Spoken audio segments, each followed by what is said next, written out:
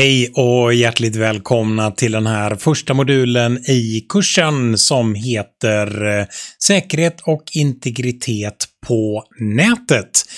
Eh, den här första modulen kommer att vara en eh, liten genomkörare till hur internet fungerar. Så vi kommer i den här kursen att kika på hur gör man på internet? Hur fungerar internet?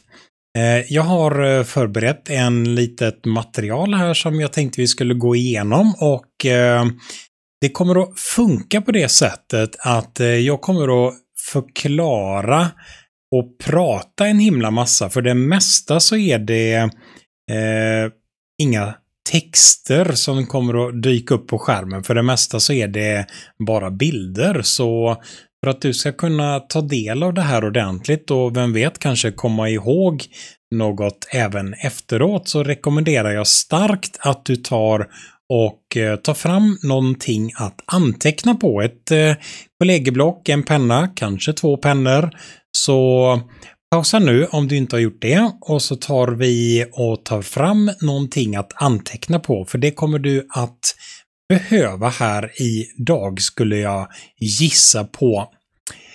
Jag kommer som sagt att prata väldigt mycket runt de olika bilderna som finns här så det är inte det att du kommer att ha en massa text att läsa på sen när vi börjar bli färdiga utan det, det kommer att vara massvis med bilder helt sonika så pausa och ta fram anteckningsmaterial nu.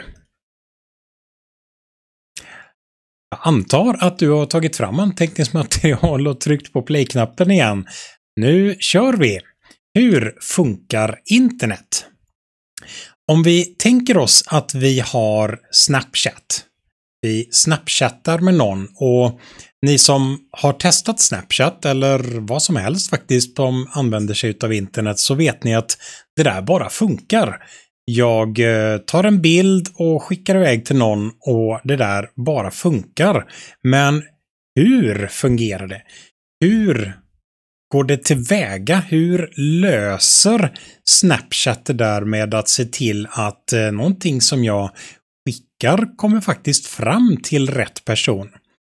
Vad det gäller Snapchat eller eh, någon av de fem miljoner andra tjänsterna vi kan använda oss av som, eh, som nyttjar internet på något sätt. Hur fungerar det? Hur lyckades jag ta kortet? Det här kortet jag tog, hur eh, kunde det komma fram till min kompis? Min kompis kanske har flera stycken appar installerade i sin mobil exempelvis. Hur eh, kunde Snapchat-bilden komma fram till just Snapchat-programmet och inte skickas vidare till, eh, ja, Facebook Messenger eller eh, varför inte galleriet med alla andra bilder jag har eller eh, hur lyckades programmet snappa upp att det var just det där Snapchat-programmet som skulle ha bilden? Hur gick det till? Eh, bilden som jag tog, den kanske var jättestor, överfördes hela bilden i ett stort tjåk eller var det möjligen som så att eh, delar av bilden eh, fördes över. I sådana fall, hur lyckades Snapchat att pussla ihop de olika delarna i bilden? Säg att det var en rad på en två centimeter utav bilden så skickade den iväg de här ah, tio stycken bilderna. Hur lyckades Snapchat att pussla ihop så att det blev rätt ordning på de här bilderna? Eh, när vi snappade så kanske jag var på 4G-nätet men kompisen som tog emot snappen var hemma och var på sitt wifi. Hur i hela världen lyckades den här överföringen av Snapchat-bilden att helt enkelt bara fungera? Lite sådana saker ska vi kika på idag. Hur i hela världen kan vi överföra någonting från en enhet till en annan enhet genom att använda oss av internet. Så det är precis det som vi ska kika på här idag och försöka förklara i detalj hur det där går till. Jag kommer att visa på här idag precis hur vi går tillväga för att göra en sån här överföring. Jag kommer att prata om alla de här delarna som ingår och vi kommer att titta precis på vad som händer i alla så kallade lager som vi arbetar oss igenom för att kunna skicka någon information på nätet. När vi tittar på internet så brukar ju internet oftast symboliseras med hjälp av eh, ett moln. Vi eh, kopplar in sladden i molnet och eh, på något mystiskt maner så lyckas den där informationen som vi har att komma ut på andra sidan. Så om vi skulle rita en bild över internet så brukar man ofta ha det här molnet. Men eh, jag tror inte det här kommer som en överraskning för er, därför att internet det är faktiskt inte byggt av massvis med moln. Faktum är att internet är byggt utav sladdar. Man har experimenterat och kommit fram till att moln är väldigt dåliga på att transportera information oavsett vilken variant av överföringsteknik som vi vill använda, oavsett om det är kabel eller fiber eller radiovågor. Moln är tämligen dåliga på att överföra information med. Så det vi gör är att vi använder oss av sladdar av olika slag. De här sladdarna kan innehålla radiosignaler eller de kan innehålla ljussignaler eller en del andra saker. Vissa signaler kan skickas via luften och så vidare. Men eh, moln är faktiskt tämligen dåliga på att transportera information. Så just moln brukar vi väldigt, väldigt sällan använda för att bygga internet med. Så Mer korrekt är att rita upp det där molnet i form av en sladd istället, för då, då, eh, då är vi närmare sanningen. Jag tänkte vi skulle ta och ge oss på en liten förklaring till hur fungerar internet? Om vi börjar med att ställa frågan vad är internet för någonting? Det är ju lätt att få en bild i huvudet av eh, stora datahallar utanför Umeå som eh, kyls med hjälp av eh, smältvatten och det finns prylar för eh, tusentals miljoner i de här datahallarna. Det är lätt att få den bilden av internet. Det är lätt att få bilden av internet att det är jätte, jätte jättetjocka sladdar som går mellan olika saker. Faktum är att den där bilden av internet är inte helt överensstämmande. Internet är helt enkelt en himla massa datorer som är kopplade med varandra. Jag tänkte vi skulle ta och eh, göra ett litet internet. Jag tänkte vi skulle ta och göra oss ett litet exempel på hur kan faktiskt internet fungera. För att göra det där så börjar vi med att göra ett litet nätverk. Det här kan exempelvis vara hemma hos eh, mig och eh, molnet som jag har i den här bilden är egentligen en liten representation av någon form av kopplingslåda. I den här kopplingslådan så kan jag stoppa in eh, datorer som jag har. Jag kan koppla in laptopar. Låt oss säga att min eh, kopplingslåda även har stöd för att överföra eh, trådlösa signaler, wifi. Och i sådana fall så kan jag låta telefoner och iPads och sånt där koppla till den här eh, lådan också. Så när jag har gjort det där, då har jag skapat mig ett litet nätverk. Jag har fortfarande inget internet, men eh, å andra sidan så är det just internet som vi håller på att bygga nu.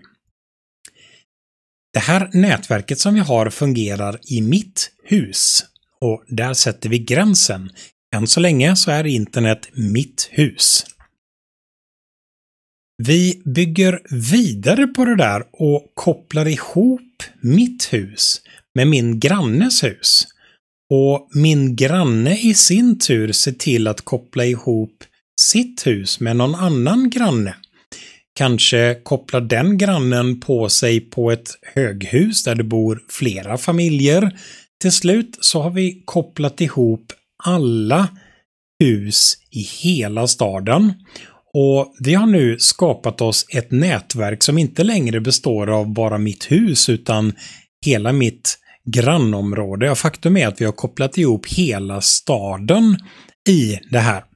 Så än så länge så har vi internet, men eh, internet har bara så att säga vuxit och blivit lika stort som staden jag befinner mig i. Det vi gör nu är att vi kopplar ihop min stad med en annan stad. Observera nu att nu ökar internets storlek en liten aning.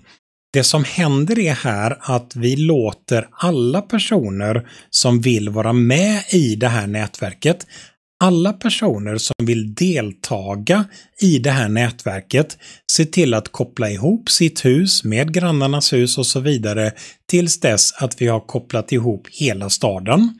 Och när vi har gjort det så kopplar vi ihop vårt nätverk, vårt stadsnät, kopplar vi ihop med en närliggande stad där, eh, där alla invånare som vill vara med i det här gänget har gjort precis samma sak som vi har gjort, det vill säga kopplat ihop hela grannskapet i ett nätverk. Vi kopplar ihop våra städer med varandra och vips har vi ett nätverk som består av hela landet. Vi har nu fått ett internet som består av hela Sverige och eh, om alla tjänster finns tillgängliga i Sverige så kan vi nästan säga att vi har ett eh, komplett internet. Men eh, alla tjänster finns ju inte i Sverige. Vi vill ha ett ännu större nätverk. Vi har kommit så långt att eh, alla datorer som vill vara med i klubben i Sverige är ihopkopplade. Så nästa naturliga steg är naturligtvis att koppla ihop alla länder i exempelvis Europa. Vi kopplar ihop Sverigesladden med Norgesladden, Norgesladden med Finlandsladden och så vidare och så vidare och så vidare tills vi har kommit fram till en punkt där alla länder i hela Europa, och det är jättemånga, alla är sammankopplade i ett jättestort nätverk. Vårt internet är nu hela Europa stort. Det som började med att jag kopplade ihop mitt nätverk med min grannes nätverk har nu vuxit repetitivt och omfattar hela Europa. Varför ska vi sluta där? Naturligtvis så fortsätter vi vår resa och ser till att koppla ihop vårt världsdel, vår världsdel, kopplar vi ihop med en annan världsdel. Vi kopplar ihop Europadelen med Afrikadelen. Afrikadelen kopplar ihop sig med Sydamerikadelen som kopplar ihop till Nordamerikadelen och så vidare och så vidare. Vips så har vi kopplat ihop alla världsdelar med varandra och vi har skapat oss det som heter internet.